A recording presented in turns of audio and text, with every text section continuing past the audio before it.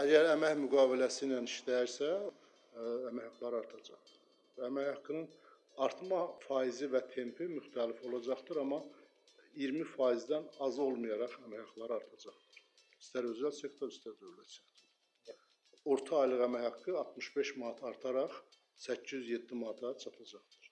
Eyni zamanda orta aylıq əmək haqqının artması e, imkan verəcək ki, biz gələn il içərisində pensiyaların da bütün növlərini təxminən 7-8% civarında artıra biləcəyik. Minimum əmək haqqı artırsa, ona uyğun olaraq vahid tarif cədvəli üzrə orada faizlər fərqli olacaqdır, amma 20%-dən az olmayacaq. Bütövlükdə əmək haqqının vahid tarif cədvəli üzrə artması həm dövlət sektoru, həm də özəl sektoru əhatə edəcəkdir.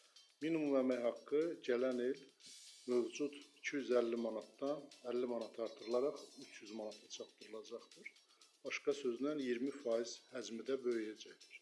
Minimum əmək haqqının artması ilə əlaqədar olaraq muzlu əmək haqqı çərçivəsində çalışan, yəni vahid tarif cədvəli üzrə çalışan bütün işçilərin əmək haqqları artacaqdır.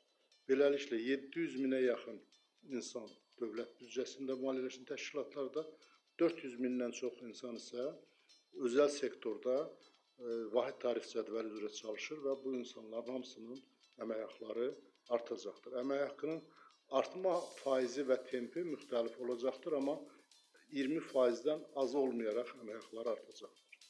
E, Bütövlükdə əmək haqqının vahid tərif cədvəl üzrə artması həm dövlət sektoru, həm də özəl sektoru əhatə edəcəkdir.